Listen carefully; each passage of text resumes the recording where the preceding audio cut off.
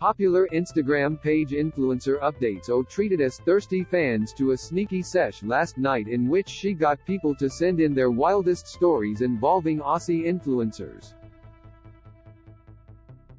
Unfortunately it's hella cryptic and she's blocked out the names and covered them with just a gender and state, but it's still super spicy and who knows. Maybe you guys will be able to figure it out based on our own insiders. Here's just some of the best ones but I implore you to chuck her a follow for more. One Sydney-based influencer allegedly got fired from David Jones back in the day for stealing thousands of dollars worth of clothes. Meanwhile a Gold Coast-based influencer stole someone's mate's bag at a bar and only gave it back when we got security. I wonder what kind of bag we're referring to here? I say this because according to the list of blind items, influencers do a lot of cocaine. Apparently one of the Love Island Australia blokes was seeing someone before he went on the show and the poor gal discovered he'd left her to date people on the national stage via TikTok.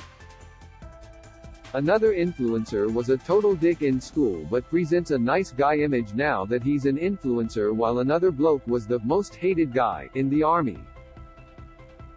Which male influencer was in the army? One spicy blind item alleged that a Gold Coast influencer did a lot of weird things to try and blow up as an influencer before Love Island. We love a clue.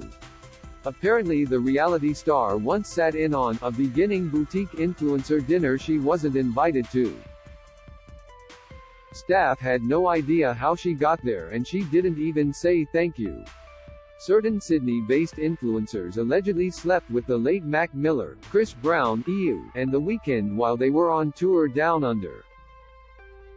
I'm guessing it's three different influencers, BTW, as she hasn't indicated that it's the same person.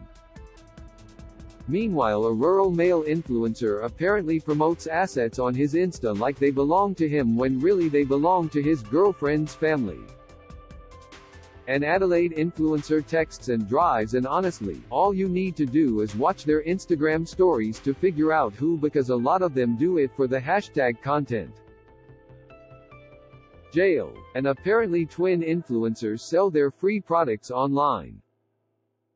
That's it for now, folks. See ya next time there's a spicy series of Instagram stories exposing the most bizarre behavior of Aussie influencers.